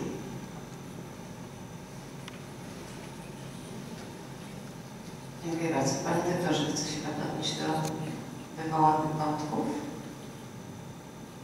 Chwila zastanowienia. Nie. Panie Krzysztofie. Proszę bardzo. Dostałem pierwszą umowę, więc dialogu, więc rozumiem, że nie, nie jest to warte wszystko, żebyśmy na ten czas tracili. To, co mówię o popkulturze, oczywiście, że ona jest w tym sensie dobra tak samo jak dobry jest tabloid dla analfabety, bo to jest pierwszy krok do czytania. Jak nic nie czytał, no to zaczyna od tabloidu. Jak nic nie słuchał, to zaczyna od pop, pop piosenki mojej ukochanej doby. Yy, były piosenki, yy, prawda, no są tacy, co słuchają, ja nie należę, ale yy, to są wszystko pewne takie kroki, które się nam yy, czyni. Natomiast to, że trzeba mieć pieniądze i czas, żeby w kulturze się głębiej pogrążyć, no to, to cała historia ludzkości mówi o tym, dlatego śledzimy w historii tylko kulturę sfer Była ludowa, to jest maleńki margines, którym się zajmujemy tak przy okazji, nawet niewiele z niej się dla nas dzisiaj zachowało. Natomiast od, od, od, znaczy od, od sztuki starożytnej do dzisiaj śledzimy tylko to, czym interesowali się najbogatsi, czy ci, którzy naj, najwięcej sobie mogli pozwolić. Więc tak, tak, tak bym to skomentował. A ponieważ mam tutaj mimicznie przynajmniej skrytykował mnie za niechętny stosunek do, yy, do postmodernizmu, no to powiem, że w filmie, którego prawie nikt nie oglądał, więc był adresowany gdzieś raczej do państwa, ale z powodu Dody wszyscy pomyśleli, że to jest film dla małolatów. No i to nam mój umierający bohater, no wiem umierający, ale chcący, jest milionerem, zastanawia się, jak zaszkodzić ludzkości najbardziej, gdyby umarł, więc pisze testament nie bardzo się zna na tym dzisiejszym świecie, ale tam asystenci podsuwają różne pomysły i jeden to właśnie otwiera się w, rozdział w komputerze o destruktywizmie. Pojawiają się fragmenty wykładu Derrida. No i on natychmiast mówi, tam na to pieniądze, trzeba dać stypendia, odeprzeć to na paru uniwersytetach, tak, rozwalimy młodzież, to będzie zemsta, która pójdzie w historię. Więc jemu trochę przypisuje po Państwa, obiecałam, że będzie możliwość zadania pytań, podniesienia. Proszę bardzo. Zagadnienie, które Państwa interesuje. pytanie, to będzie polemika e, z panem Zanussim, najpierw dotycząca postmodernizmu. E, Po pierwsze to jest etykietka. Postmodernizm to jest cały tłum e, rozmaitych postaci. Po pierwsze ni- niestety nieobecny, jak wiadomo, ale zaplanowano na którego książki można mieć rozmaity pogląd, e, ale na przykład nowoczesność jest nawet z punktu widzenia socjologii empirycznej e, bardzo porządną analizą, trochę kontrowersyjną bardzo. A profesor Bauman się od etykietki postmodernisty nie odcina. Gdybyśmy jest modna. Jakby się... o Jezus, no ja, jakąś etykietkę trzeba mieć. No, nie- ale jest postmodernistą i, i jest porządnym socjologiem. Chodzi o Derridę, no to jak wiadomo jest niesłychanie kontrowersyjna postać. I tutaj e, Derridoznawca nie chciałbym wprawiać, ale powiem tylko anegdotycznie. Jeden z bardzo wybitnych polskich filozofów i z tradycji jak najodleglejszej od Derrida powiada, Derrida w Krakowie miał znakomity wykład i, i znakomicie przetłumaczył pracę Husserla o porządkach, y, o porządkach y, ge- geometrii i znakomity, świetny wstęp. I to mówi bardzo wybitny filozof analityczny. Więc y, Derrida to jest taka postać, powiedzmy, którą też nie dałoby się włożyć i jednoznacznie zaklasyfikować. Muszę też, ale w trybie czysto deklaratywnym powiedzieć, że e, no, całkowicie nie podzielam oceny dotyczącej Sartra i nie podzielam oceny dotyczącej marksizmu. Myślę, że w związku z duchem, który w Polsce od 23 lat y, panuje, ktoś taką deklarację powinien złożyć. Co do, co do oceny i skutków marksizmu, to rzeczywiście to już na inną, chyba dłuższą debatę i bardziej chyba szeroką. Ja bym e, spostrzegł coś innego, mianowicie, bo oczywiście używam słowa postmodernizm nie jak filozof, ale jak przechodzeń, to jest takie uliczne rozumienie tego słowa, natomiast to, że postmodernizm naruszył naszą bardzo dwudziestowieczną pewność siebie, to widzę w tym wielką zasługę, że w ten sposób nawet pewną furtkę w stronę no, tego, co się poetycko nazywa tajemnicą otworzył, to też prawda. Ale to nie w tym rozumieniu y, takim przy, przechodnia, ja nie używam tego tylko w rozumieniu etykiety. Proszę bardzo, jeśli Pan posłowi Pani była pierwsza, dobrze? Gangsterek, Katedra Filozofii Uniwersytetu Ekonomicznego. E, Chciałabym zadać pytanie może nie nowe, e, Pani Profesor, ale wydaje mi się wciąż aktualne. I też w pewnym sensie tutaj Pana Profesora e, skierowane. Ponieważ em, chciałam zapytać o granice sztuki w sensie etycznym. Jak wiadomo, e, no, sztuka dzisiaj obecnie jest niejednokrotnie bardzo kontrowersyjna. Jest takim zderzaniem rozmaitych obrazów, e, które trącą i religią, e, i kosmologią, i, rozmaitymi nurtami filozoficznymi, ale wiemy, że one powodują bardzo duży ferment. E, Ferment, myślę, i estetyczny, jeśli chodzi o doznanie, doświadczenie, ale też nawet może i ferment duchowy. I teraz mam pytanie, oczywiście mam tu na myśli no, już znane instalacje, czy, czy pani Nieznalskiej, czy innych mm, podobnych jej artystów. I e, chciałam zapytać o to, czy granice sztuki przypadkiem nie są w nas. A jeśli są w nas, to zapytam prowokacyjnie, czy wszystko wolno.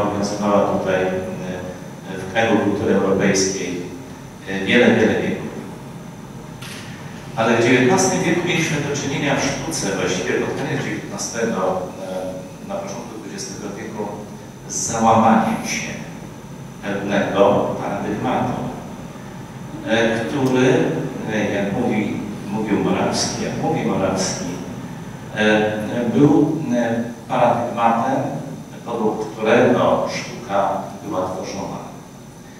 Ten paradygmat ufundowany był na jakościach i. Związku z tym część teoretyków e, w sporach rozlicznych, e, które prowadzili e, w XX wieku, zaczęło twierdzić, że ta sztuka, która nie spełnia, bo nie hołduje jakościom i wartościom estetycznym, która nie hołduje temu paradygmatowi, przestaje być sztuką. Ale inni twierdzą, że wcale właściwościami, jakościami e, dla sztuki istotnymi są jakości estetyczne, bo je znajdujemy również w przyrodzie. Dlatego chyba dzisiaj, mówiąc o sztuce, bardziej mówimy o tych wartościach artystycznych, poszczególnych dziedzinach tej sztuki. Krótko mówiąc, e, artyści e, odwołują się do naszej kompetencji w kontakcie szczególnie ze sztuką wysoką, bo o sztuce popularnej kompetencji raczej nie trzeba mieć, po prostu trzeba się jej dać, porwać, zabawić. I w tej sztuce wysokiej ona straciła kontakt przecież z odbiorcą w dużym stopniu. E, I e, ta sztuka wysoka, w cudzysłowie, e, jest sztuką, która odwołuje się, czy wymaga się od niej posługiwania tymi jakościami, wartościami, a z drugiej strony wartościujemy ją poprzez to, no bo przecież film, który jest wartościowy, nie jest wartościowy dlatego, że w ciągu tygodnia zarobił 10 milionów, dzięki temu zwróciła się, zwrócił się koszt jego produkcji.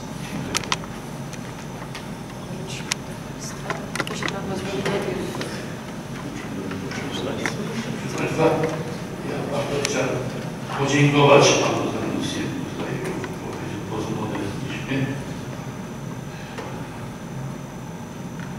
chciałem skomentować też, żeby nie była tylko akceptacja wypowiedzi.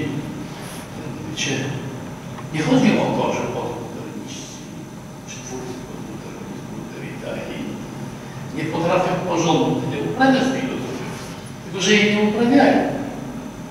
Ja tu podam pewną anegdotę.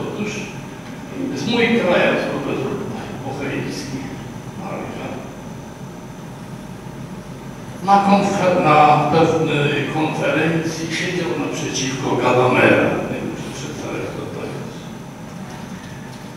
Ponieważ Bocheński był znany ze swojego dowcipu i ostrego dowcipu, bez pardonu, mówił, panie Gadamer, pan mi przypomina Picasso. Więc była to jakaś pochwała. Dlatego się zastanawiam, ale dlaczego? Dlatego, że umiał malować, a nie chciał. I chciałem powiedzieć, przez to co nowego człowieku nie mógł lepiej tego Barbarła, tylko Kornenem Przecież znasz się dobrze na filozofię. Ale odwrócę sytuację, proszę Państwa. Ja byłem, ponieważ nie jest Pani Radyku, to Dewida był w naszym honorowym doktorem, znaczy jest przestępstw, ale nie żyje, to muszę tak delikatnie powiedzieć. Otóż był problem, kto ma napisać recenzję doktorską, honoris causa. No więc ja byłem jedną z ofiar i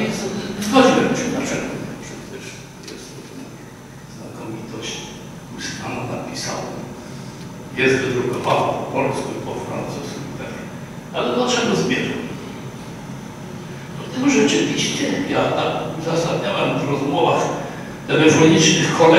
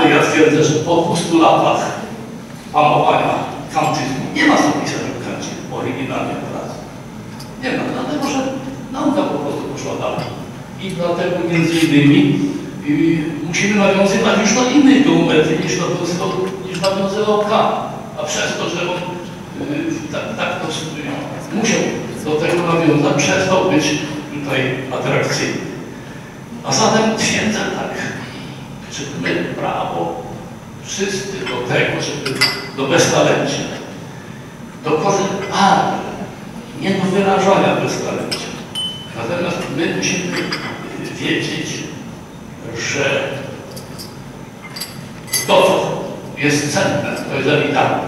Pan nie szukaj lewitanów. Ja nie muszę nawet pana chłopów czytać i, i, i mamy pojechały sami potrzeba, prawda? Jeszcze inne, prawda? Zacznę Zaśmieconą literaturę co chwilę otwieram telewizor, widzę, że jakiś nowy talent się pojawił, co więcej, tabony talentu, bo to przypanie się siedzą koło siebie, jak w powieściu pisarki, one, one pracują. Ja myślę, że skoro, już kończę, jest taki zwyczaj w literaturze, gdzie umiera jakiś wielki pisarz, to przestają o nim pisać. A idzie do pewnego typu kwarantanny. Proszę zauważyć, jeden z największych pisarzy, Iwaszkiewicz, jest cicho. No chwała, jeszcze wajdzie, chwała jeszcze wajdzie, czy księga to jest do jego tekstu. Ale myślę, że, że to jest taka, taka. I jeszcze, i jeszcze jedna. Ja mam jedną y, nadzieję. Na przykład teraz u- nas y, y, teoretyk filozofów pisających jest mania cytatów, indeks cytatów. Gdzie nie cytują, to ty nie istniejesz. A jak piszesz, to pisz liście bostońskiej, bo jak dla mnie yy, zły artykuł. Przetłumaczony na inny język dalej pozostaje artykułem. Na liście bostońskiej czy takiej, napisany w gazecie może być, może być natomiast my mamy ten cytatów. Otóż zakończę, jest cała pociecha. Nie będę tu nazwiskami mówił. Że ci, którzy, wynika z, z, z naukometrii, to specjalna nauka, metrologa, y, niektórzy nawet wymyślili i morda i metrykę. Znaczy nie- mierzenie nieśmiertelności. Przez to ile razy pocytowano, tak. Jak często go wyświetlono, wyświetlano. Otóż Pocieszę, pocieszyłem się że wiele z profesorów takich naukometrów mówi tak, nieważne, jak rośnie krzywa cytatu za życia, jak szybko spada. Chyba. Spróbujcie teraz niektóre nazwiska sobie przypomnieli na bo pełno i w telewizji, a nie ma. A nie ma. To mnie pocieszy.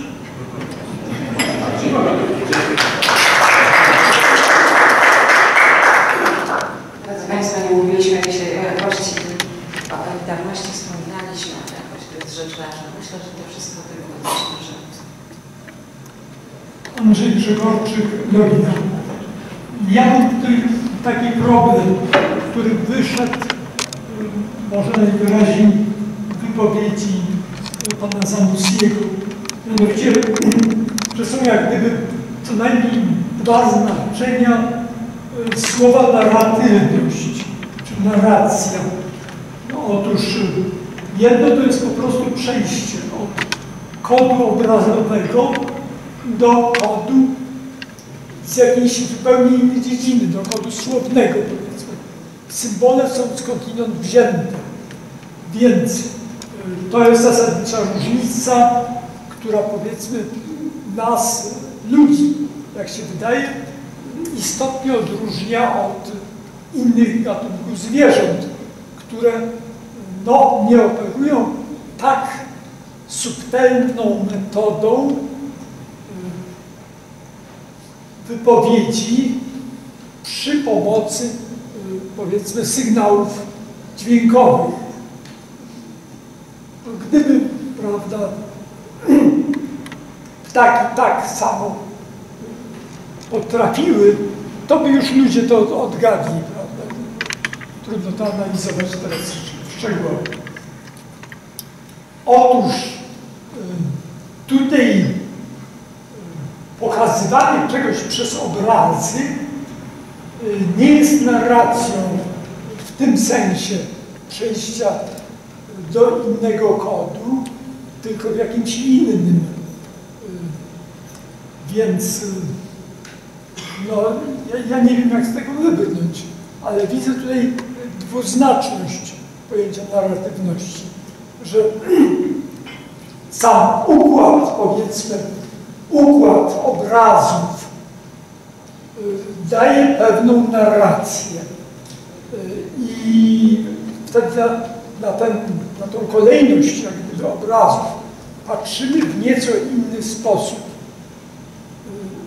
A, aniżeli na jeden obraz, który bije pewną swoją bezpośredniością. Niby ta narracja przez obrazy, no też daje poczucie inne, tego jakiegoś bezpośredniego ciśnienia na nasze zmysły, aniżeli y, no, powtarzane symbole, nawet powtarzane, no, właśnie w chwili one nie są powtarzane jako osobne symbole, one są powiązane, ale właściwie w mowie też, w mowie też wszystkie dźwięki, prawda, poszczególne litery i słowa, i słowa w zdania też są łączone w pewną całość. Tu jest jakieś pole do, do dalszej analizy, mi się wydaje, który nie, nie potrafię tak od razu mm, powiedzieć. Dziękuję bardzo.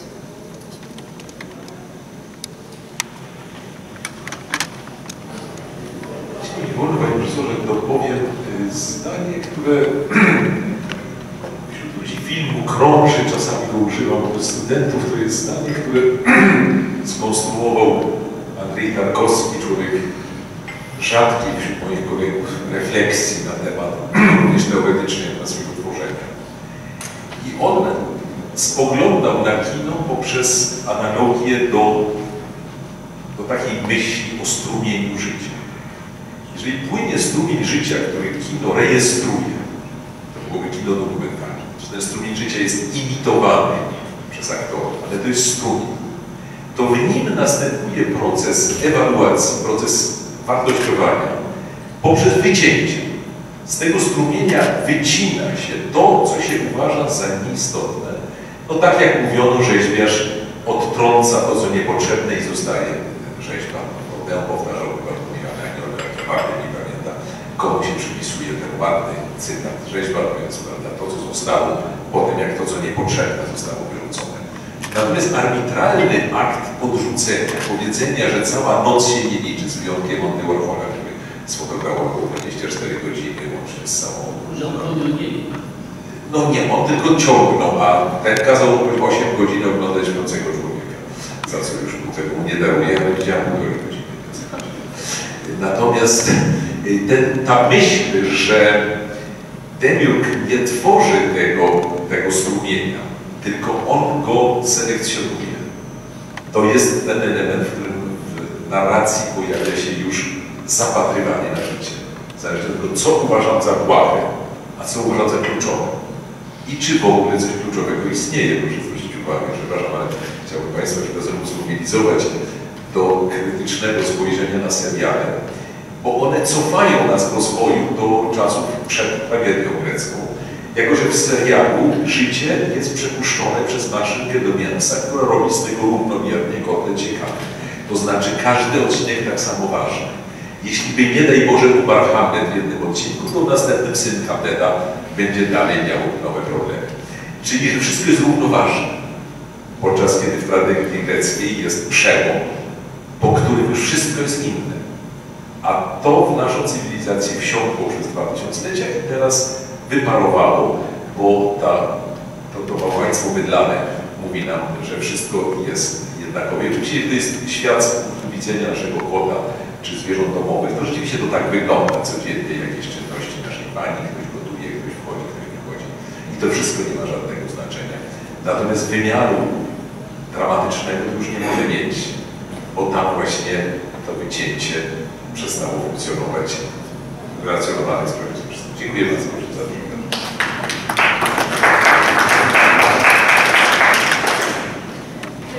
Ja tylko dodałabym do tego, bo wydaje mi się, że w liczbach zamysłów pojawiła się bardzo istotny, istotny motyw związany z, ze związkiem przeżywania życia i przeżywania dzieła sztuki.